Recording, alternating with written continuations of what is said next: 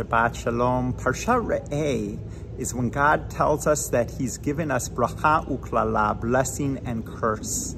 Bracha if we follow God's ways, and klala if we stray from God's ways. So once again, like we discussed in Eikev, things are up to us. We have choice in terms of how we perceive things and in terms of how we make the most of what we are given. And it's my hope and my prayer that we will make things bracha. And it's more than making lemons out of lemonade. It's looking at one's life, seeing gratitude for all that one has, all the bounty, and finding sources of blessing. That's why we need to say 100 blessings a day. It keeps us grounded and uh, with a sense of eternal gratitude.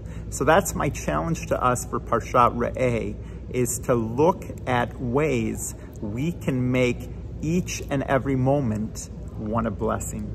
Shabbat Shalom.